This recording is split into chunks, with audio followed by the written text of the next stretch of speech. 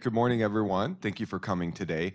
Uh, my name is Kevin Navratil. I am a political science professor and the Democracy Commitment Coordinator. And today's event is about the implications of overturning Roe v. Wade. Um, so today we have three panel members joining us. I'd like each of them to introduce themselves. Sure. Uh, my name is Merri Fefles. I teach uh, political science and history and sociology, and I'm also the college's study abroad coordinator. And I am Lisa Battisfor. I am the founder of an organization called Reproductive Transparency Now. And um, we hold direct actions outside of crisis pregnancy centers, which are anti abortion organizations that we'll talk a little bit more about as part of the session. Hi, I'm Tish Hayes. I'm the information literacy librarian here. Great, thank you everyone. Um, I wanted to start off by letting you know we have uh, a lot of information that we could um, share with you today, but feel free to ask questions along the way if there's anything in particular that you wanted us to talk about. We'll make sure that we get to that, and I know that there's a microphone in the back for, for all of you. So to start off with, we wanted to provide a little bit of a historical background of how we got to um, this past summer's decision that overturned Roe v. Wade. So I'm going to start off with uh, Professor Fefles thank you. And I'm going to stand up here just because I, I tend to do a little better when I'm kind of moving around and talking. So, um, okay, uh, I'm going to try not to be too verbose here. I have a tendency to do that sometimes. So, gonna, so cut me off, get the get the hook out if I'm going a little bit too long here. Um, I'm not sure if a lot of you are aware of this, but actually, abortion in this country was not illegal until the 19th century, until the 1800s. Um, most states did not have statutes against it until roughly like around mid mid 1800s when doctors were um, kind of like not liking the fact that they were getting supplanted by a lot of midwives um, and thinking that you know they were kind of superior knowledge of obstetrics, and, and gynecology and so kind of pushed for this and um, this st states to pass uh, laws that would uh, ban abortion. And so there wasn't necessarily from the founding of the country that there were laws banning abortion. I just want to make that clear because I think this might be something that maybe people are not aware of. So let's go ahead and um, kind of get into this a little bit. So I'm going to fast forward here to the 20th century and talk about more about Supreme Court cases. So many of you may not be aware of this because it's just one of those things that you may not think of, right? Um, there was it used to be illegal in this country to be able to access contraception. So, I mean, that's why the organization of Planned Parenthood got started to begin with from Margaret Sanger in the 1920s because uh, contraception was not a, a, legal practice, a legal uh, uh, thing for women to obtain. And in, in 1965, the Supreme Court in a case where a Connecticut couple sued the court saying, like, we have a right to be able to not have a kid if we don't want one when we want one, um, that basically it's not fair for, for contraception to be illegal. Um, and so that was basically the argument that they, they based it under are a couple different amendments that you could see up here, the first, third, fourth, and fifth, and also under the 14th Amendment, the idea of due process. And this is kind of the basis that sets up the case of Roe versus Wade in 1973. And, and there's a, another one, but I'm, this is the main one, right? So, of course, this is a case where a, a woman, uh, Norma McCorvey, takes the name of, of Roe, the idea of, of, of you know, um, as a pseudonym, um, files a case against the district attorney of Dallas, Henry Wade, basically saying that she had a right to be able to, to, to access uh, an abortion. And the court essentially, um, the, the law in the books in Dallas said that basically that unless uh, there was a, um, an issue that the woman's life was at stake, that abortion was completely illegal. And the court ruled in a pretty landmark decision, seven to two, that basically a woman has a right to have an abortion. And using this, this right, Gideon precedent now. And precedent is what the term the court uses to talk about like cases that you that came before that they used to rely on. This is a little spotty. The uh, thank you. We'll switch them out. Sorry. Thank you. Sorry about that. Um, so, the, the, so precedent is the idea that, that the court looks at cases that came before to rely on them to make their decisions that they're making now, right? And so the the idea that that um, a woman would have access in all trimesters, but states were given these leeways to limit it as kind of they needed, right? So as time goes on, there are some different laws that came across, and I'm not going to get into all of them, but there are different other cases where Roe was challenged through the 80s. Um, but for the most part, they upheld it. Well, then we get to another landmark case in 1992, Planned Parenthood versus Casey, a, a Pennsylvania statute that basically said that um, a married, a couple of different things. One of them was that a married woman had to inform her husband um, before having an abortion. Um, was a 24-hour waiting period, um, and then a, a, a, person had to get a, um, a woman had to get the consent of her parent if she was a minor, among a couple of other things. And so the court in this case was the first time where they really kind of narrowed abortion rights. So what you can see on there, the couple different things. So that they said that basically a woman has a right to get an abortion in the first trimester, but they added this caveat. Oops, sorry, here we go. That the state cannot place what's called an undue burden on a woman. So she can seek an abortion in the first trimester, but that the state cannot have that undue burden. The undue burden, though, is what we get into in later cases that the court has to define what does it mean to be an undue burden? What does that term even mean? Um, it goes on to say that, this, that states have the power to be able to make laws to restrict abortion in the, in the second and third trimesters. Um, and from there, kind of states take that and they kind of run with it. And so from there, you have these, these, these subsequent rulings where states are, are they pass, it's a, I, but a thousand different statutes um, at the state level. Um, and that was just since 2010. So that's even more, we're talking thousands, trying to limit abortion rights. I mean, and there's so much that you that we could talk about that I want to. I don't want to take up too much time, but just about abortion doctors uh, being assassinated and violence at abortion clinics, and um, you know, there's a lot of different things. Um, in, in 2003, Congress passes what's called the Partial uh, Partial Birth Abortion Ban Act that the court upheld. Now, this is this in and of itself, and we could talk about this a little bit more as we go on, is not quite a an even even uh, a, a, a, correct even uh, medical term, but we can we can you know talk about that as, as we go. Um, this gets into some of the different restrictions that have that what the uh, states have been trying to do since then, like looking at trying to trying to restrict pills, um, things about adding counseling and parental involvement, et cetera, et cetera. Which then brings us to the case of 2022.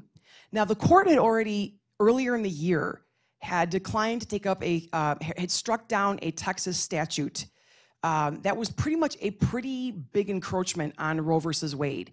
And that should have been a warning signal to all of us that they probably were going to go ahead with this. Now, it's, it, it's also important to note that in between that time, the court now had a majority. And this is something that Professor Navratil and I talked about in a previous um, uh, session that we had about talking about the court. Um, that, that Donald Trump had promised when he was running for president that he would get uh, pro life judges on there that would overturn Roe versus Wade. And that worked. He got evangelical Christians on board to support it and to uh, to uh, eventually overturn it. And so in June of 2022, as many of you know, um, in this ruling that was six to three, uh, these, this case of, of the Dobbs versus Jackson Women's Health was uh, Roe versus Wade and Planned Parenthood, as previous cases were now overturned, which meant that basically it doesn't mean that in Illinois, where where abortion rights are still protected, that you cannot can no longer get an abortion. It means that at the federal level, that a woman's right to have an abortion is no longer protected the, in the first trimester. Because it meant that even if you're in Kansas or you're in Texas or you're in Alabama, and let's say that you know abortion may be limited much more narrowly in, in the second or third trimester, because the court, by the way, in Roe set up the idea of trimesters, and that's how we kind of measure when uh, how, and how abortion should be limited. Now it's saying that basically not even in the first trimester, which was supposed to be like kind of a sacrosanct right, now it's no longer protected at all. So if you're in a state where you have abortion rights already, you're cool. And if you were following the election last week, a bunch of states now enshrine, like Michigan um, and Kansas over the summer was kind of a big one, and then Kentucky, which was uh, expected that it was a very, very narrow, um, narrow passage, but Kentucky basically decided to not um, enshrine an abortion ban on their in their constitution, in their, their, in their state constitution. So this was basically saying that the court, though their ruling was, okay, we're going to send this back to the states that Roe was wrongfully, it was argued incorrectly. It never should have been argued the way that it was, and it should always be a, it was not constitutionally correct, and it should be returned to the states and let states decide how they want to regulate it. And that kind of has its own, its own issues, issues with it that we can discuss some more. And then, of course, some of you may, be, may remember that this was also leaked earlier in the year, which people then found out about it, and that's never happened before um, in any any history of the court, any case where the entire decision was pretty much uh, leaked before, which gives you an idea of what a big deal this was. We still don't know who actually leaked um, the decision. So this kind of gives you the, the basics of it. Um, and with that, I'll, I'll kind of turn it over to our colleagues because we all have a lot to say and I don't want to take up too much time. So, and if you have any questions, I'm happy to answer them. Thank you very much, Professor Fefles. Um, and that kind of leads us to the point of, of now what is the impact of Dobbs? Like, what does that do? So Professor Fefles just talked about how now states are really going to go their own direction. Um, states like Illinois have um, more protections for abortion rights, whereas neighboring states like Indiana do not. So, Lisa, do you want to take it from here about what the impact of Dobbs is going to do? Yeah, so there are a few elements of this to cover. So, one thing to understand is that Roe affirmed the right to privacy under the 14th Amendment. And there are many other issues that were also covered in the 14th Amendment related to the right to contraception, uh, the right to marry who you want. Um, and so, what that means is there could be serious implications for LGBTQ rights. There could be serious implications for access to contraception as a result of this decision. And furthermore, um, something to really take into account is when there is no federal protection, the laws can then vary by state. So, you know, to that point, you know, we're seeing abortion bans at various points in pregnancy in different states throughout the country. And in fact, they are changing constantly. So, a- as an activist, right, I'm very plugged into various organizations who um, provide abortion funding for people who need to travel. I'm very plugged into uh, abortion clinics across various states, and they are struggling right now to keep up with the various um, legal requirements because abortion is legal one day, and then it's not the next, and then it is the next day. And hanging in the balance are people who are making very important life decisions and they're being yanked around. And this is as a result of this decision uh, in the Dobbs case. And so I really just want to challenge everybody to, to think about these issues, you know, at extra layers. There is so much nuance here. It's not just abortion uh, is legal or not. There are so many other issues tied into it, and there are real people tied into it. And we know from the research that people of color and people with low incomes are going to be disproportionately harmed by these policies. And so we all have a responsibility to look out for each other and protect each other's rights. Thank you, Lisa. Um, one of the, just to play devil's advocate a little bit, one of the arguments that I've heard is that, well, if you live, if you live in Indiana an abortion restriction, let's say at six weeks or whatever the state policy may be, and you know of states like Illinois where there is better access to, to abortion, then people can just uh, travel. That you can mo- uh, you can go to one of those states and, and have an, an, an abortion there. So what what is your response to that argument? My response? Any anybody of the panel members? I do have a response. um, that costs money. Okay? It costs money to travel. It costs money to get childcare. It costs money to take time off of work. It's not just easy to say, oh, yeah, I'll just travel across stra- state lines. You know who's able to do that? People who have financial resources, uh, typically white people, right? So, again, this is where that issue comes in of people of color being disproportionately harmed. Because the fact of the matter is it's not that easy to just pick up and go aco- across state lines. And furthermore a lot depends too on where you're at in the pregnancy. So you know depending on you know which state you can get to where you can get an appointment all of these things are variables that people have to navigate.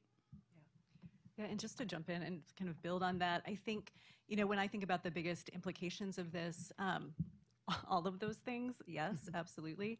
Um, and I think that when we start, and this is not new to the Dobbs decision, but I think the Dobbs decision definitely heightens it. When we stop thinking about abortion as something that is a medically necessary part of reproductive care, that it's something that um, we need to have access to um, to to better our health and well-being, um, mental, physical, and otherwise. Um, we once we start getting away from that, um, it and and really thinking about um, health as as something that's politicized and that like the the um, information around that health that's politicized it starts to get very very scary. I mean we see that happening around covid. We see it happening around gender affirming healthcare for young people in states. And so when we start having um, just a debate and a politicization of medical care and medical health and the science around it, I think we're in really dangerous territory, and it sets up um, like much broader implications for all of us, um, and definitely impacts those people who can't afford it. You know, I think when we, I, I think your point is is really important. In, in, in terms of the overall kind of health implications, I think that's something that's overlooked. And I, I told them I'm going to just share a brief anecdote of what happened to me last year. Um, I don't think I understood it as well, even myself, until I kind of went through something. Um, last year, I had a, um, and I'm I'm in my mid 40s, and I'm I'm childless, so this is not a situation I've ever been in.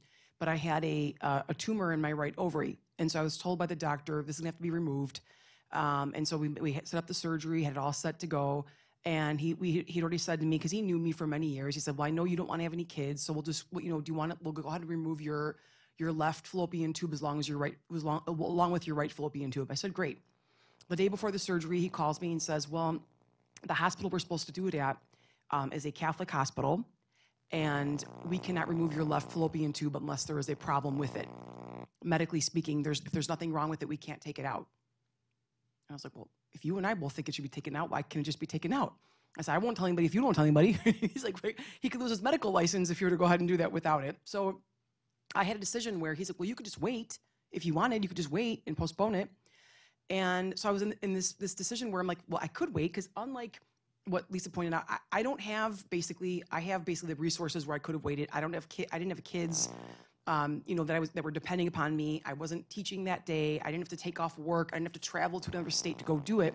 But I was in pain because I had a pretty large sized tumor that was pressing down on my spine and it was hurting.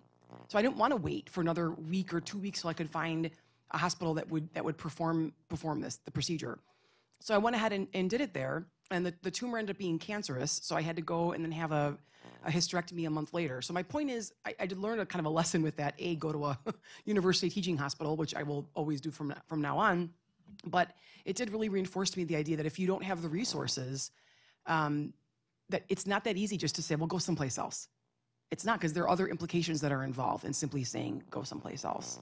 So hmm. just a little anecdote. Again, it's not, you know, but it, it at least it gives you a, nice, a sense of the personal and why this why this is very personal for so many people because it's it, it is complicated and it is nuanced and it's not just something you could say. And I also do want to add though too that if anybody here, no matter what your views are, we want to hear them. So if you have, you know, if you want, if you have got questions or you've got comments that you want to make that even are at, at odds with what we're saying, that's okay. I mean, we're here to kind of have a discussion and and talk about this. So so please, I want to kind of make that clear that that we we welcome um, any and all comments to this. So. Thank you, Merri. Thanks for sharing your personal story. And, and with that, we'll take a pause and see if there's some comments from the audience. I have a similar story to what happened with Merri.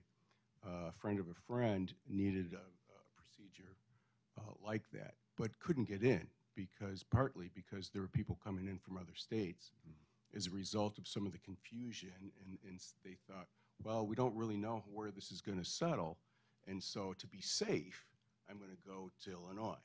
Well, that's taking up spaces for people in Illinois. And she ended up delaying her surgery, which, which made it more dangerous and more complicated. Exactly, those, those types of stories. So even when, when you live in a state like Illinois that might have more abortion protections, there's still an impact because of all the increased demand for services. I know that uh, we were thinking, I'm sorry. did No, you no, go ahead. No. um, of of some of these examples that, that may have been in the media that have been uh, covered quite um, with a lot of attention. And there was the uh, story of a, the 10 year old girl from Ohio. Um, and, and, and so I know that Tish, as information literacy librarian, wanted to kind of shed light on that and the way that misinformation and media attention uh, on some of these high profile cases. Sure, I can talk a little bit about that. Um, that's a, a incredible case where we have um, a real news story um, and a, a real situation that um, Republicans uh, try to spin into, and anti-abortion proponents try to spin into um, calling it misinformation. And so that then became misinformation. Um, so it got a little bit wild out there. Um, and I think this is a good time to kind of talk about the maybe the differences. Misinformation is the unintentional spread of false or misleading information, which happens all the time. And we all have probably spread misinformation accidentally. It's a thing that it's a thing that we do. Um, gossip could be misinformation, right? Um, but then disinformation is similar, but it's intentionally spread. So oftentimes, um, and this is, I think, where um, we really need to be concerned about um, uh, folks in the anti-abortion camp um, and and what's happening on social media and around cases like the 10-year-old is when there's information that's created to um, uh, advance a political agenda, to advance um, an idea about what abortion is or is not that isn't true. Um, and so, can I just jump into some of the other um, social media implications and things like that? I think. Um, I think one of the things that uh, I found really interesting in doing the research for all of this is like the case of the 10 year old from Ohio in some ways is extraordinary because um, I think it was watching something unfold um, that I don't think we get to see unfold very often, which is like the social media spin around something. And also, Do they know what it is? oh, yeah, yeah, I can Yeah. talk a little bit. Apologies. So this summer, um, there was a news story that um, popped up about a 10 year old um, who needed an abortion. And this 10 year old lived in Ohio, and Ohio had um, anti abortion laws on the books and could, could not get an abortion within Ohio, so needed to travel to Indiana to get that service.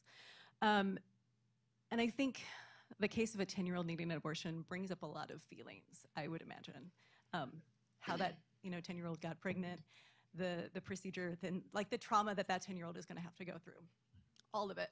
And so I think that made it really like this kind of story that people got drawn to. But immediately, Republicans started saying, well, no, that's not true. That is not a real story. There's no way a 10 year old needs an abortion. There's no reason that they would have to travel. And it got people really riled up because I think it taps into, again, all of those emotions. We don't want to believe that a 10 year old needs an abortion, but in fact, um, a huge number of 10 to 14 year olds do need abortions in every state every month of the year and it's and it's upsetting and tragic but it's also real and something that we need to like be able to reckon with so republicans said that it wasn't true and then it turns out it was um, it's just that one of the other problems with misinformation and one of the problems with kind of the way the media handles these stories is that traditionally um, journalists need multiple sources to verify a story, right? But in this case, we have a 10 year old and their doctor, and maybe their parent. And so there aren't multiple sources because there shouldn't be. There doesn't need to be a whole bunch of people who know about this 10 year old, right? Like they have some right to privacy, and this is a medical situation. And so, because journalists couldn't verify it outside of the doctor and the person who needed the abortion, then journalists weren't willing to report it as a true story. And so that's one of the complications that we have around um, the issue of abortion when we have a very traditional publishing model within news that isn't willing to kind of move with like the medical um, uh, responses or doesn't isn't willing to report on a controversial issue without having the other side when in fact there actually isn't another side. There is just the truth of what happened. And i think this is the thing that i think comes up a lot within around news coverage um, and around social media issues is that we, we want to think of you know the pros and the cons we want to think of you know the all of the different sides but we also have something that is a medical accurate you know description of, of a procedure versus um, a lot of things that are made up and we're going to talk about like, crisis pregnancy centers later but i think that's one of the places where that comes up a lot too Just checking in again, seeing if there's any comments or questions so far. Yeah. If, you could hold on for just a second for the microphone. So as a woman and as a professional, um, I, I feel like I have a mathematical mind, and so I try to look at all these things in, in a very logical way, but it's hard to separate this topic from feelings. Um, and as a mother of four, and all four of my children were very, very early, where they were in the NICU, it's hard for me to wrap my, my head around one day earlier and one day after their birth. And one day I could get have an abortion, and then the next day they're a baby and now I can't. Like, what's the difference between one day? And on the day they were born, they had a shot and they cried because they, they felt and their Mhm. heartbeat and they were real babies. Mhm. And so it's hard for me to have 28 week old babies that were real babies and then one day earlier they were not babies. So that is hard for me to wrap my head around. But I will say, I don't want any of my rights taken away ever. Mm-hmm, and mm-hmm. and it is a slippery slope, right? Mm-hmm. This is this is something where we, you know, there's so many implications. I am a privileged person because I have a family, I have a job, I have access, I have a doctor. You know, so it is such a slippery slope. But I think that we sometimes forget that these are little, they're babies. Mhm. And when are they not babies? And when are they babies? Because when that when I had the baby, they weren't supposed to be born. So Mhm. did I have a baby that wasn't a baby yet? You see what I'm saying? Yeah. So it, it's such a slippery slope. But again, I am a person that I don't want any of my rights taken away. Sure. And both things can be true. Yes. It can be both things can be true. Like I think you're raising a really good point. 'cause I think that there's like common ground. I'm sorry, ladies, do you mind that I that I kind of jumped in on this? I think there's common ground that we could be finding. I think that's a lot of people kind of feel the in the sense that you support. Okay, first of all, most women. The I'm glad that you brought this up because the vast majority of women. So when we talk about the second trimester of women seeking abortions, women don't walk into an abortion clinic like at 36 weeks and they're like, you know, I think I just changed my mind. Right. I don't want this kid anymore. No, when you're at that point, you have like a crib picked out, you have a name picked out, you've got like the, you're ready for this baby. I mean, it's not like women just decide willy nilly, I'm not going to have a baby. Um, because if, if the baby can survive outside of the womb, most states do have like laws, even Illinois does, that after the point of viability, um, it's restricted unless it's unless it's for the health of the life, life of the mother or the fetus, baby. Um, so this idea that, that I think that you're that there's more common ground that I, I think that we could agree on if we just kind of got past that point. But the term, even like the term of like uh, late term abortion or partial, those are not even real medical terms that doctors do, they don't use those terms. And any, I want to just throw this out there just for like, an abortion is any type of pregnancy that is not does not make it full term. Basically, is considered an abortion, an aborted pregnancy. So even if you, if, whether it's spontaneous because it happens because you have a miscarriage, or because you've chosen to have an elective abortion, any pregnancy that does not go full term is considered an, an abortion, an aborted pregnancy. Excuse me. So, but these, these terms have been politicized and have been used to kind of like scare people, and they th- and people think that too. Nobody wants to see the idea of like you know, and, and some of the terms even you know, when, and former President Trump was saying things like you know, and they ripped the baby out of the womb, and like I mean, that, that, those things just they don't happen. You're not going to find doctors who are going to be like, oh yeah, I'm going to go perform an abortion at like 38 weeks. Like that, does, you're not going to find that. So when it does happen, like there was a, a- and I'd urge you all. There's a really interesting and really sad um, uh, piece. I can maybe give it to, to Troy to maybe put on the website if it's possible or a link to it um, on Vice News about women in Georgia who had to have uh, abortions in the second trimester. It's because their, their babies, there was something wrong with them or they were going to die themselves if they did not have, an, have the abortion.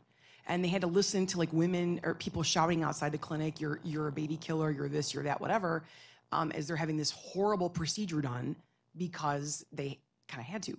Um, so it's, I think there's a, you're, you're raising, you're raising a good point. And I think, in addition to that, something to think about is when life begins really is dependent on your not only your own personal views but your religious views because where we are at right now where we're seeing a lot of this politicization is a result of a Christian ideology and not everybody in the US is Christian and not everybody shares those views um, I know in the um, abortion advocacy landscape, you know, a very prevalent view is the life of the pregnant person always takes precedent. And there's obviously going to be a difference in how they approach things if it's a wanted pregnancy versus an unwanted or unplanned pregnancy. And so, what worked, for example, for you you know, perhaps the circumstances would have been different, as you mentioned, if you didn't have the resources to be able to make it work. And that is enough, in my view, and in a lot of people's views, to make it, you know, a- decision that that person should be able to make. And something I really do want to highlight, because we're talking about some like sensational examples, right? I really want to make sure that, you know, everyone you know knows that having an abortion is it's safe and it's common and there is absolutely no shame attached to it no matter when or why or how you decide to have one or more um, so there is no shame in having abortion and i think that's something else we really have to fight in our society is the stigma Absolutely. And just to jump in on that, the, the stigma around abortion is one of the primary um, concerns with this misinformation, disinformation, and the way that our news media reports on abortion because of the different, I think, lies um, or the medical, um, dis- the distortion of medical facts, which happens both in media and in crisis pregnancy centers. Those things then filter into a kind of our, our day-to-day conversations around what abortion is. And so even if I've never like looked up information about abortion, or maybe I'm not following, those things kind of get in my head. And then I have these um, frameworks for thinking about abortion that aren't just aren't true. Um, one of the things, um, one of the articles that I found really interesting is this study called Shaping Stigma, an analysis of mainstream print and online news coverage abortion that revealed that the coverage uh, perpetuated stigma in many ways um, through the frequent use of inflammatory language attributions.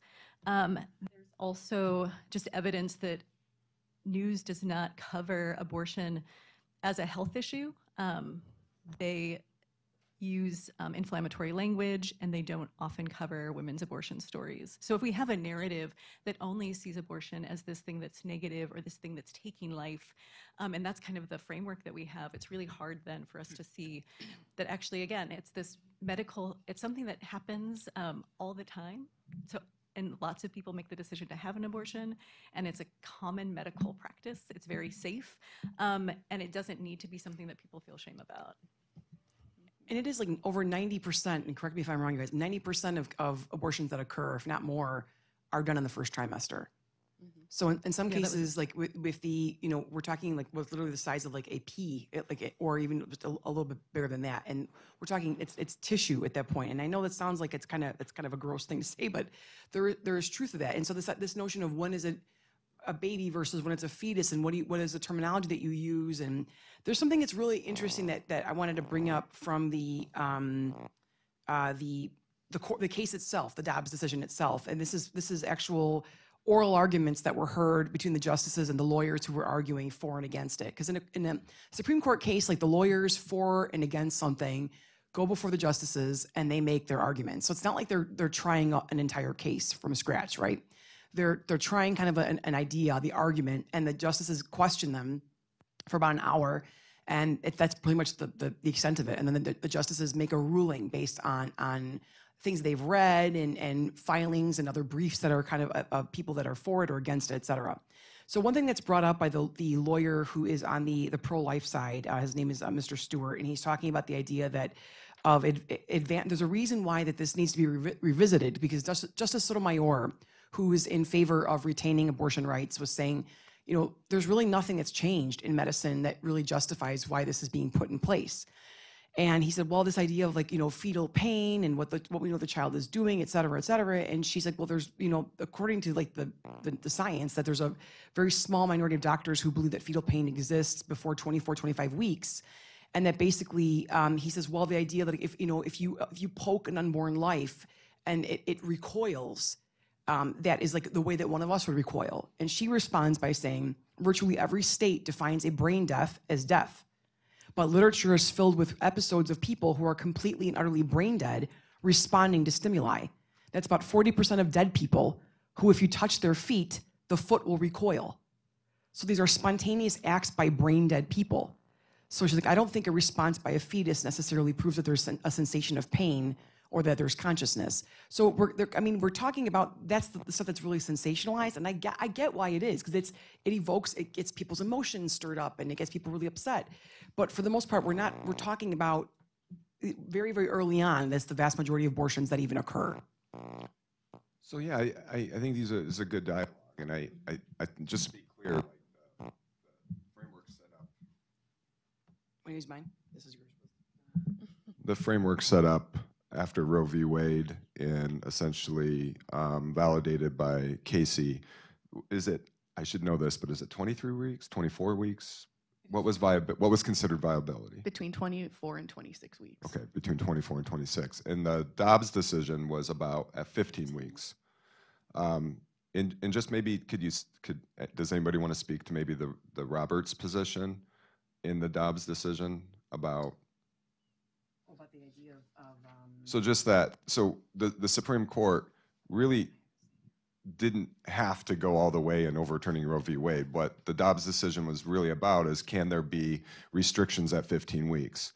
And it appears that, well, um, Justice Roberts, the Chief Justice of the Supreme Court, thought that, you know, 15 weeks for Mississippi, that that was appropriate for that state to make that decision, but that it really wasn't a question for the court to decide to eliminate nationally all um, pr- uh, abortion rights nationwide.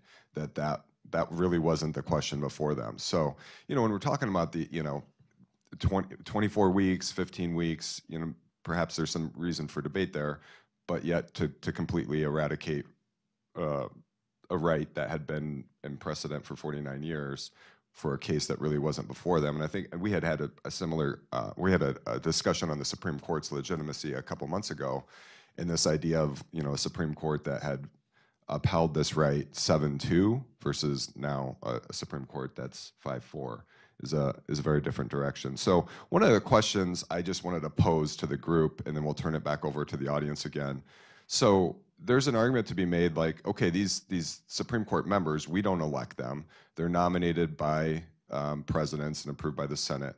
Um, their mindset is like, hey, we shouldn't be making this. We shouldn't be making these decisions. Whether it was Roe v. Wade, that should have been something that the legislative branch decides. So if Congress wants to create a right to abortion, then they should do that uh, or absent of that, that this is really a, a state because of federalism. Any power that's not explicitly granted in the Constitution is reserved to the states. So it should be reserved to the states. So I know it was covered earlier, but just want to highlight this again that essentially the Supreme Court's saying, look, we're not. We're not anti-abortion per se. We're just saying that it should be decided at the state level. So I just wanted the group, and I, know that maybe it's been mentioned in, in an abstract way, but wh- why can't we just turn this over to the states and um, I think it was Alito, one of the justices said, you know, women have the right to vote now, and you know, we can control this at the state level. So, So I want to ask, I'm going to ask a question back um, regarding what the question you just asked. So do you recall what happened just a few weeks after the Dobbs decision? Uh, what was proposed by Lindsey Graham? yeah, the, the federal ban on abortion. So uh, yeah. I think when we talk about politicization of abortion, I think that's something really important to remember is they argued that, well, it should just be left up to the states, but then they proceeded to introduce uh, a federal abortion ban, which really disproves their position. And then looking at the argument uh, in isolation, leaving it up to the states, I think that takes us right back to um, the problem we talked about earlier, which is every state having very different laws, very different rules, forcing people um, who already have trouble accessing healthcare to have to navigate a very complicated system. Um, not to mention with you know laws changing you know more frequently at the local and state level. So it just introduces a lot of complexities that harm people who can become pregnant to fulfill the um, perceived moral duties of, of a certain subset of citizens. Well, and not to mention the fact that I think that even talking about this in the context of federalism, I think you're already starting to see this as like, you know, the the ramifications of this. Because you know, when you're the underdog and you're fighting for something, so if you are like the pro-life groups and you've always had kind of Roe, Roe versus Wade as sort of your, you know, as your enemy, and you're fighting this uphill battle against Roe versus Wade, it's easy to be like, you know, you're the underdog and you're fighting for something. Well, now they've gotten it, right? Now they've achieved it. So it's forced a lot of these, a lot of uh, of politicians, which was kind of a litmus test to be part of the of the Republican Party nowadays. Which I want to emphasize did not used to be the case, you guys. There used to be there were pro-life uh, Democrats and a lot of pro-choice Republicans. Ronald Reagan, who became president of the United States, was was uh, governor of the state of California and had abortion access um, expanded for people in California. Um, it was, and it's only when he ran for president and was trying to get the support of evangelical Christians um, that this changed. There were a lot of so, so this the, the tents of the party kind of shrunk, where they used to like kind of house a lot of like I think there's only one one, one pro life Democrat that's still even in the House these days. Um, for the most part, it's it's now you're either one or the other. So these litmus tests, like in order to be a Republican, you've got to be pro-life, and if you want to be a Democrat, you've got to be pro-choice. Um, and and again, I'm not placing necessarily a judgment on their beliefs. It's just more of the idea that that this is it's become much more much more hardened. But what we're seeing now, though, is that now that it's becoming, people are being forced to take a stance on it. This is the thing that most people across the United States widely believe should be up to the individual, with some maybe limitations at certain places. But for the most part, most Americans, public opinion polls show consistently that Americans believe firmly that that a woman has a right to make that decision for herself, and that's not the place of the state to be involved in, in, in telling them what to do. So they're now they're finding themselves kind of on the defensive, and, and a lot of them are removing their pro-life stuff from their websites and you know trying not to appear so kind of partisan so when lindsey graham proposed that federal abortion ban all of a sudden they were all like oh, retreat like nobody wanted to say yeah that's an awesome idea um, because that's now forcing them to take this stance that really it was easy to play from the sidelines all this time when it was never really that real. Does that make sense? But now it's real because Roe versus Wade has been overturned. So now the stakes are much higher and it's much a much big, bigger deal. And what we're starting to see already is, is states like again Kentucky and Kansas, those are not like, you know, super known to be, you know, bastions of, of, of liberality, right? These are states that were, that basically voted to not um, enshrine uh, to vote to enshrine abortion access for women, or, or, at least not not enshrine, I should say, an anti-abortion stance in their constitutions. Just a quick aside, I grew up in Kansas, and it is it is very conservative, and I normally am just embarrassed about everything coming out of Kansas, and this was the first time that I was like, yes, Kansas knows what it's doing. Good job, Kansas. And I think a really important point to highlight here as well is just because we live in Illinois doesn't mean abortion access is safe forever. We just had a midterm election that, you know, very much went in the uh, pro-choice or I call pro-abortion direction. Um, but that is not guaranteed. So I think something else to keep in mind is it is so important to be you know, civically active to know who's running, who are your local representatives, and vote. Like, do whatever you have to, whatever you can to make sure you can vote. Voting early, voting by mail, um, going on election day, because um, you'll have another chance, you know, in two years. Um, so make that, if you couldn't make it this time, make it next time, because this will be an ongoing fight. Um, the anti-abortion movement has never been an underdog. They aren't an underdog now. They have a lot of money, they're well organized, and they are coming for our rights. And it's not just limited to abortion rights. So just please do keep that in mind.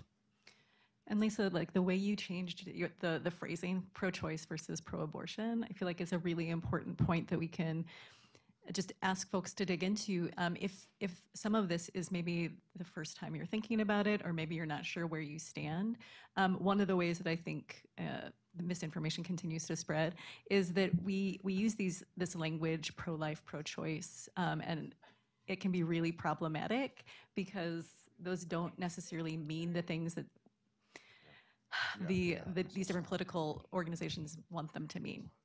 So, you know, talk to the people that you care about, talk to us, talk to your professors. If, if you know, you still have some confusion about like what's on the line here or what those things might mean and, and the language around them. Thank you. And, and now we, I, I know you've been waiting a long time. So for questions and comments? Now, now all those thoughts have left. Oh, but no. um, I have a few things /probably off topic, but a sure. few things to say, like comments to like kind of thought provoke someone. Um, so we have people that want to tell you what to do with your body, and at tw- if you want to have a baby at 22 weeks, if you have that baby early, they won't save that baby. They, so I don't know why you have to be forced to have a child, you know, and then they end up not wanting to save that child when it comes to that time. Secondly, those bleeding hearts that want to let you, you know, make you have that child. where are the resources after to support that child? Where are they after? Like, I feel like it should be community service to take care of a child in foster care or wherever, you know, they're at at that point. Are you feeding the mom and the child when they're struggling? You know, are you doing those things after they have that child? You force them to have that child because abortions come from a million reasons. It's not just a one night stand and, oh, I don't want this kid. There's a million reasons why. And, you know, if you're going to make someone have a child, at least take care of them afterwards, you know? Where are the resources after that? So that's all I got to say. and you know what? Also, if you have a spontaneous miscarriage, they label as an abortion. I think that's still wrong, too. Like, I don't know how that's an abortion when you didn't choose to have that either. It was just a medical term. Right. Yeah. So I just think those are all like, what is the real purpose of forcing people to have children when they don't want? What is like, what does it come down to? It's political, and what is the real reason? Let's get down to that, Power. right? Yeah, control. And controlling. Yeah, it, yeah, the idea of controlling. I mean, I mean Justice uh, Ruth RBG, uh, may she rest in power. She said um, the ability of women to participate equally in the economic and social life of the nation has been facilitated by their ability to control their reproductive lives. Uh, and that was from actually a decision that that um, had to do with uh, contraception. Um, so I mean, there's that's and that that's uh, an issue that is you know if you don't have the ability to, to choose how you how when you want to have kids and and how you want to have them and you know then you sometimes and it's again it's we're, we keep saying this again and again and again this is extremely complicated.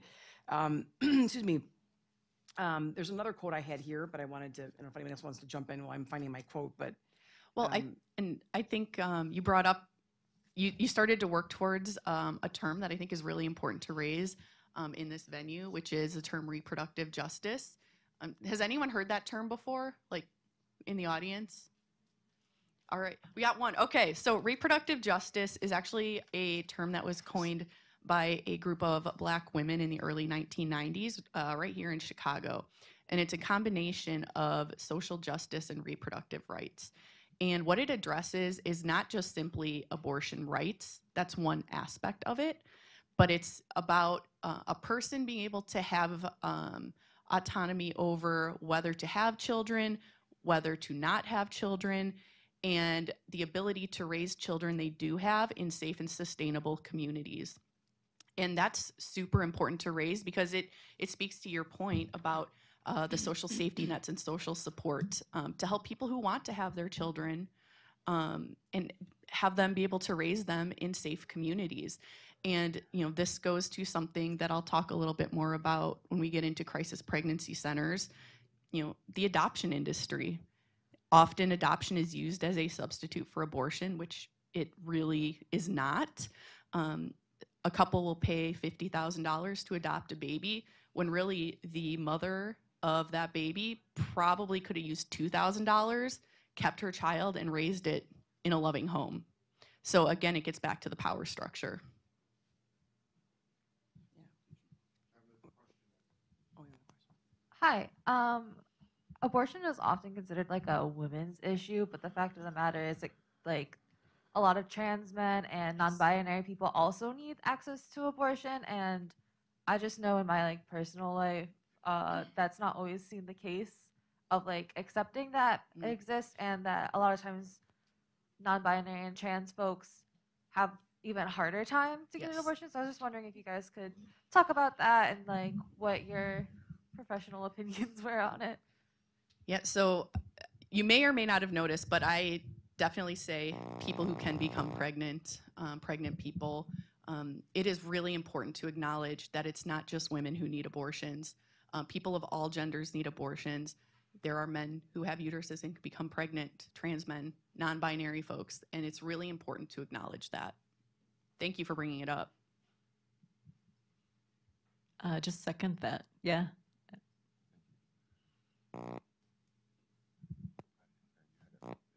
I can wait till after it's okay it's okay i want to take up more time unless she wants to get to the crisis pregnancy matters. Yeah, thank you. Sorry, sorry Thank you so much for our comments. Um, they've been very, very helpful for our discussion. I just wanted to, we, we've still got about 20 minutes left. Just wanted to see if there was any other questions or comments before we, yeah, go ahead. Hold on, there's a microphone coming around. I was just wondering if somebody could address the, uh, the implications of uh, potentially uh, government um, restricting, uh, say, male contraception or uh, uh, abortion methods, chemical abortion methods, seeing that, you know, even now that uh, over 50% of abortions, I believe, are, are, are chemical and, and could potentially be, you know, be done through the mail.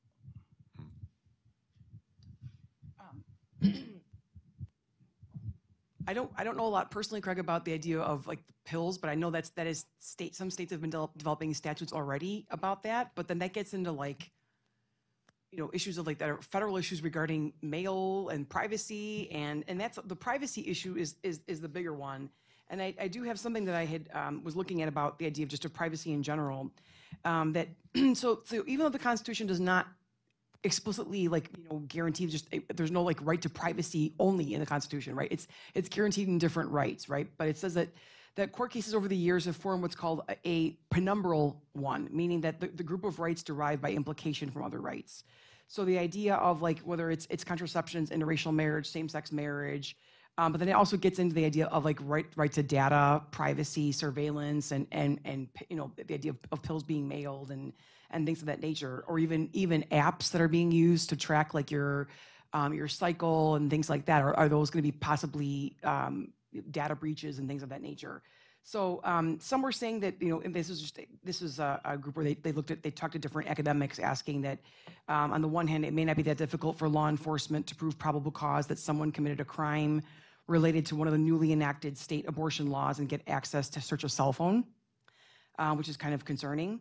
Um, but then, you know, the idea that that, but then a Tulane University law professor said that privacy can be understood that according to, the, uh, to, uh, to, to, Justice Samuel Alito, that privacy can be understood both as a right to avoid unwanted disclosure of information and as the right to make decisions without government interference.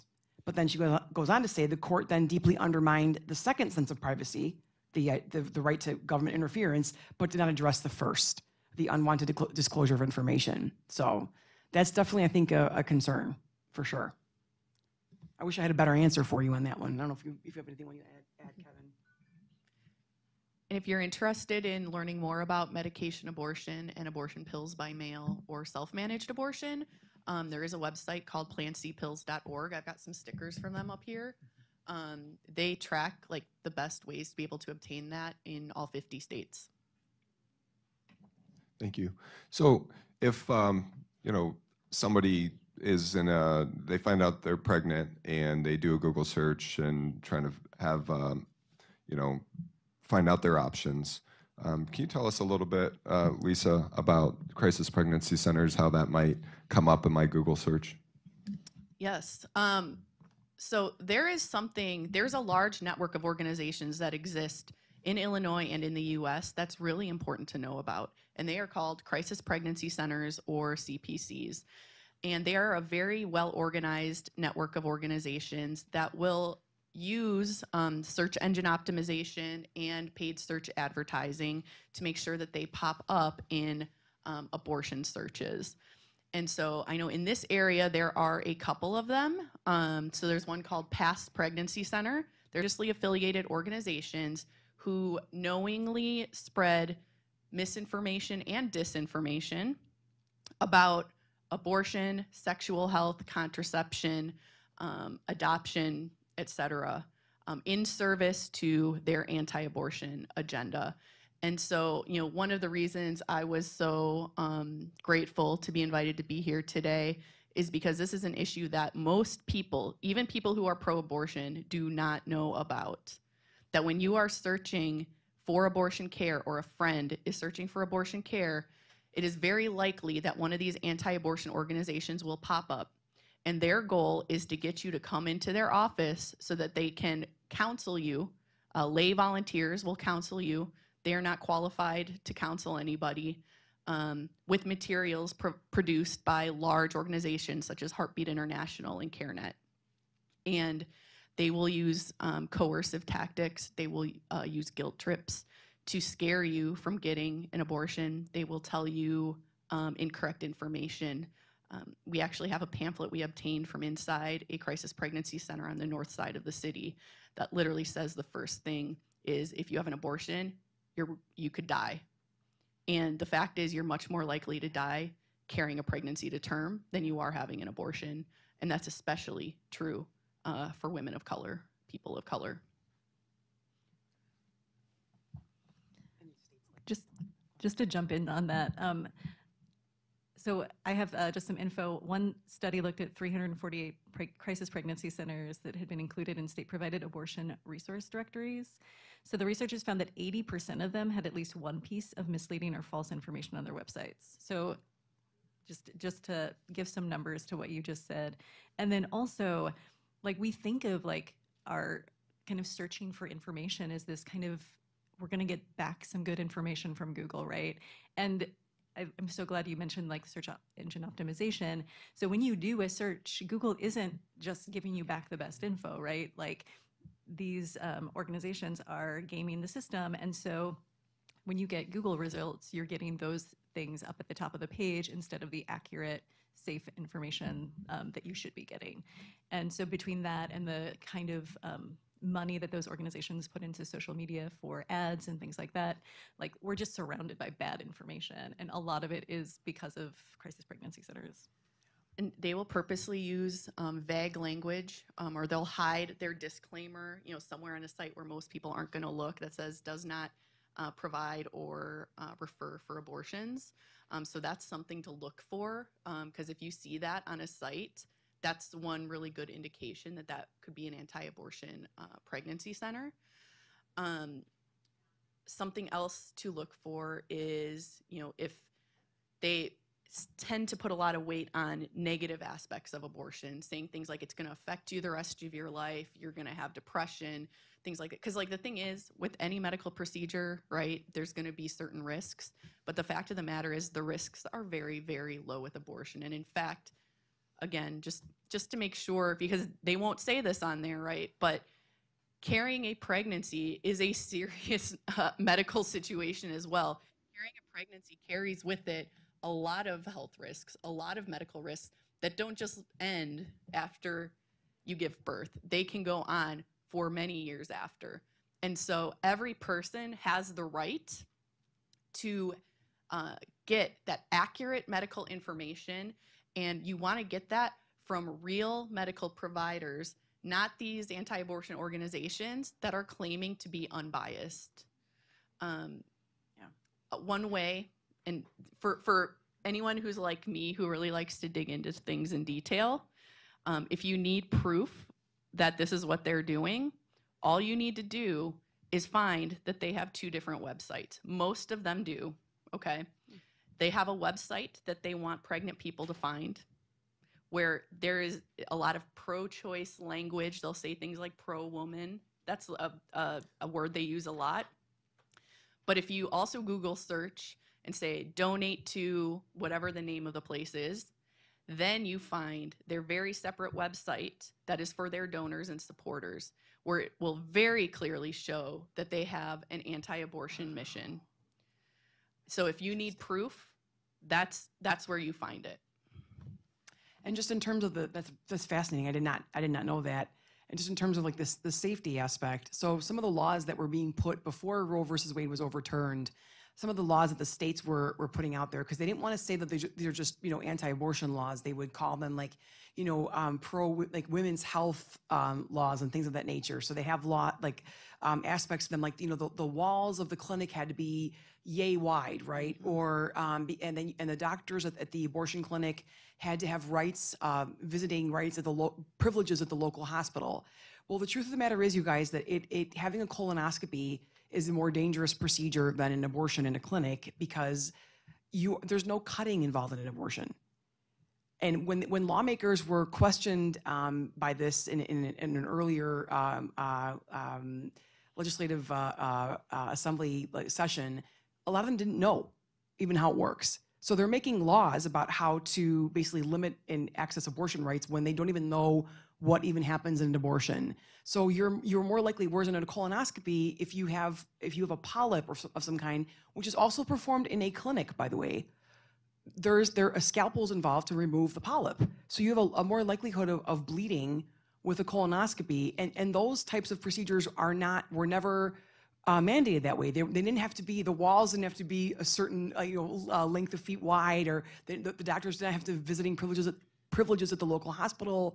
You know these were clearly put in place to limit women's rights to to have an abortion. And and I I do I want to just throw something out there because I, I I think that. The, I think there has to be some room because I mean, we both teach teach American government, and and I think that, you know, I think that we're both all of us are concerned about I think the, the discourse in general general in our country, but there's got to be room, even if people feel a certain way. It's okay to have disagreements about how, um, you know, if if people are, you know, they're they're not pro, you know, they're, they're pro life. That is okay. Um, I just I feel like I wish that we could talk a little bit more about the idea of what's the base problem, which is education overall. And if people are do not have access and don't have knowledge of education, that's it's, it's frightening. I, I showed my students in, in our marriage and family class this uh, clip. I think I sent it also to my colleagues here from Vice News about um, a group of teenagers in, in Mississippi, and they have some of the most restrictive. This was before the Dobbs decision was handed down, but they had some of the most res- restrictive things. And of course, the mortality rate, as you were saying, is, is much higher in Mississippi than other states.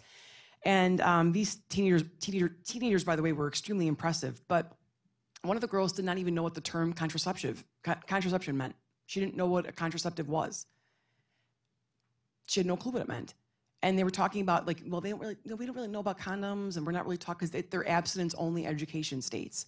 So when you're being taught abstinence-only, study after study has shown that teen pregnancy rates are higher in those states. So I feel like there's a way to kind of bridge that gap between the pro-life or, or pro-choice, pro-abortion movement, however you want to word it, by saying that maybe if we could focus more on just education overall, I think that would be a way to, uh, in general, when people are more educated, the abortion rate comes down. Because nobody really wants to get, I mean, let's just be honest, nobody wants to get an abortion. It's not something anyone really like, like yay, hey, that's, I, I'm having an abortion. Today. No, no one's really excited about that. So it'd be nice if we could find some ways to kind of bridge those gaps. At least that's my my my two cents on that. Yeah.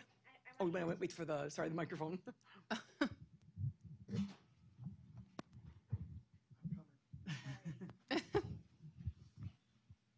And I- I think a really good point to make is, you know, when I, again, I'm trying to be logical about this whole thing, and, and when I talk to certain people who have certain views about certain things, and, and they talk about the other side, I always think, because I'm maybe I'm too much of an optimist or something, but I always think, like, what do they have to gain? Like, so, so the side with, uh, anti-abortion, like, what would they gain out of a whole bunch of women having children that they don't want?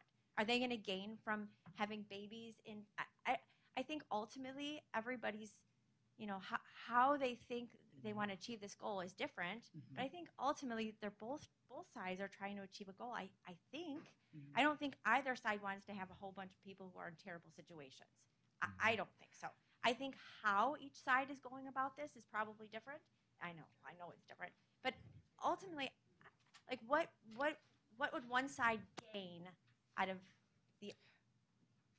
Yeah, Do you no, understand I the think it's a question? it's I- a, I it's a just- good question, and I think you know it goes back to something we talked about earlier. One word: power. Who holds the power in this country? Who holds the political power? Who holds all of the money? Who's winning in a capitalist system? It is older white men. And by holding women, people who can become pregnant, people of color in poverty, they retain that power. They they haven't always been able to though. That's under Roe, there were still major gaps in abortion access. There were still major gaps in sexual health education, major gaps in being able to access contraceptives. This has never been a just system, particularly particularly for those who don't have the financial means. I mean, I think this this conversation to me points to what you were talking about earlier, the need for reproductive justice, so that instead of right this debate about like are abortions um, can we have abortions or not have abortions? What are the conditions in which we can um, all choose to have children or not have children, to raise them in a way that like um, doesn't put us into poverty or doesn't cause like it is so it's wildly isolating. I think you know um, having a kid in this um, in this country. It's it's expensive. There's all these things that make it really hard to raise children, um, and we could change that. And there's so many possibilities for making this a better um, environment for for parents.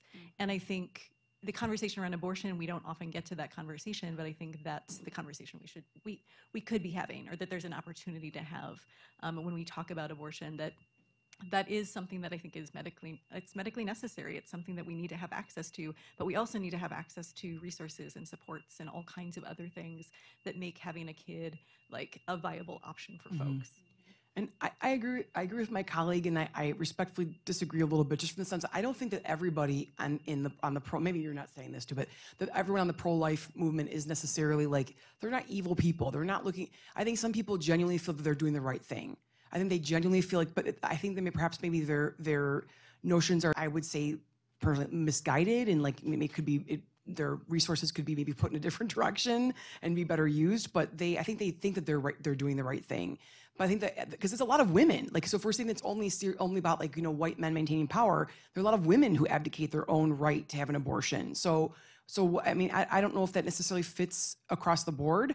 Um, but you know, there's a, a, a quote from uh, well, this is actually the lawyer who was arguing the uh, the Dobbs case, and she was saying that, and I think this kind of sums what we're summarizes what we're all saying that you know, if women have an equal right to liberty under the Constitution, and if they're not able to make this decision, if states can take control of women's bodies and force them to endure months of pregnancy and childbirth, then they will never have equal status under the Constitution.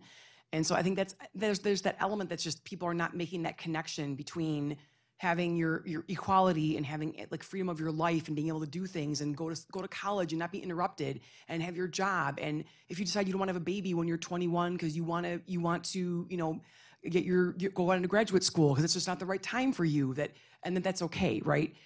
I think that's the, some of the stuff that people people are missing. Um, so I just again I wish we could kind of bridge bridge those gaps that exist, and we'll never bridge them all the way, but um, and I think that for some people it's just simply a matter of controlling women's bodies because they are just misogynists. Yeah, I would. I mean, yeah, right. Like, I think there is a, a very powerful subset of that, right? But I think there's also something to acknowledge that, you know, so as in addition to my work uh, raising awareness about crisis pregnancy centers, I am also an abortion clinic escort. And I have spent many, many, many hours face to face with uh, anti-abortion activists, and you would be shocked to find out how many of these anti-abortion, particularly the women who are standing out there, have had abortions themselves. And so It- they say that they regret it and that because of their Christian ideology that Jesus saved them and showed them the way after. And so therefore they are justified in harassing people who are seeking medical care at a clinic currently. And so this is where then I go back to if you don't believe in abortion, don't have one. Mm-hmm. Mm-hmm. There's no reason to take away other people's rights. That that just doesn't make sense. Mm-hmm. Other questions and comments from the audience?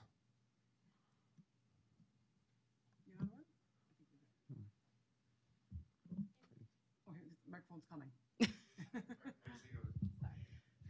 In psychology, we learned if you, uh, as far as your education, you know, you were trying to tell us about education. In psychology, we learned that most parents don't have a conversation with their kids about the talk and the safety of it. And they're like, oh, it's uncomfortable, and they don't talk about it, and they're never educated on this. And there's higher rates of pregnancy, and, you know, uneducated keeps the cycle going. It just keeps it going. So that's a you know, statistic there. And then if you talk to kids about it, they're more educated about it. They make better choices. Also, um, what else were we talking about? I'm so forgetful. That was a great point. that, You know, Yeah. that's about it. And then, like you said, I don't care what you do. I'll support you either way. You know, like I Mhm. feel like we should be supportive. And those humans that are going to be born are one day consumers, are one day constituents, are one day voters. So we do need, you know, even people like Elon Musk make comments like, oh, we don't have enough people in this world. Have you seen all the hungry people? Like, I don't, I don't know how we don't have enough. We're not taking care of who we have Yeah. here already. So those are future consumers that, Mhm. that we're breeding for them. And you know, the less educated, the more you buy, the more you consume, the the less you vote, the Right. less you care. I'm so right? glad you said that because that's a really, I think it's a point that we kind of should have said ourselves. And again, something we were talking about in marriage and family. Just, I don't know, but my mom never talked about stuff with me because her mom never talked about it with her. And we don't have these conversations because they are uncomfortable. And it's like, well, you know, it's also a lot more uncomfortable having your 16 year old be pregnant. That's that's even more uncomfortable, or you know, or not knowing anything. And I was think I was woefully unpre- underprepared of knowing stuff. So it's it's better to have those conversations. But if we don't empower people to feel, but we, there's still this puritanical, the history teacher in me is coming out, this puritanical streak that kind of runs through this country that goes back to this, this like fear of like, we can't talk about sex like this, you know, that we still have that going all these years later, right? So I know we're low on time here. Oh, quick question? Um, from like what she said about like the government, like like why, what's the point of us like having bringing children into the world? Like the world right now, like there's a shortage of formula. Like my cousin, my aunt couldn't get my nep- my cousin a formula because he ran out. He's only 11 months, so now he had to drink like whole milk, which isn't like what babies should be drinking because there's no formula. Yeah. Wow. Yeah. Um, so I go back and forth because as a woman who's never had to make the decision, like I understand both sides. But um, I have a brother with Down syndrome, and I understand that they don't really have many resources. And like I completely understand if someone, like one of his friends, the mom had him at 16. So like I grew up with him, and I still sometimes have a hard time taking care of him. Imagine having be 16 and having a kid with Downs. But like what makes me upset about some stuff like that is like Iceland, they've pretty much eradicated Down syndrome because they have tests that are 85% right, but sometimes they still have a kid with Downs, and pretty much the government just doesn't want to take care of it Mm. because yes, it is expensive, but it's still like it just kind of makes me sad because I can't imagine like life without my brother. So I think that's when I get upset. It's like the government just doesn't want anything to do with it, but then our government is like, we don't want you to have an abortion, but then again, they don't want to do anything when the baby's mm-hmm. born. Right, they don't want to support you in caring for that kid. Exactly. And I think that's the thing. Like, we need money and resources. We don't need to not have Down syndrome kids. Those are special. Like, there's all kinds of reasons we sh- why we should have all, so many different kinds of folks in our, our communities, and we should support them. And whether that's uh, your brother with Down syndrome or it's um, a mom who's struggling to feed her kids, um, having formula, like all of those things are necessary. And abortion is a component of all of those things. Um, you can't have one of those things without the other, I think. Yeah. And, and I know we're pretty much out of time here, so I, I just wanted to say one more thing with the, the excellent comments that we've had that um, supporting the children who are born, especially to perhaps parents who are lacking resources. Many of the states that have the most restrictive policies regarding abortion are also some of the least generous of providing social support um, to low income um, parents. So um, I really thought that this conversation was much richer with all of your contributions, um, and, and, and thank you so much. I really want to thank our panelists too um, for for making this. This is a difficult topic, and um, you know we we um, appreciate all your research and, and comments that you made to our group today. Um, so if you could please join me in thanking our, our panel members.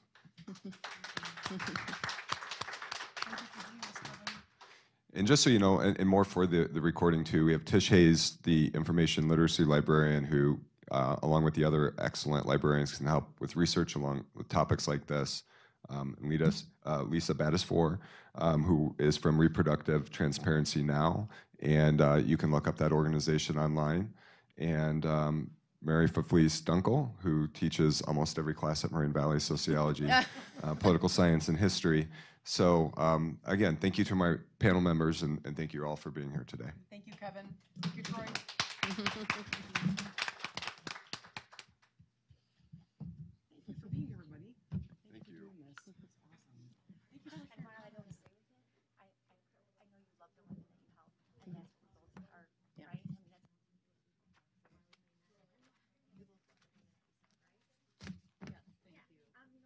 Absolutely, absolutely. Thank you so much. Thank you for coming, you. thank you for, Thank thank you you. for It's coming. awesome. Thank you.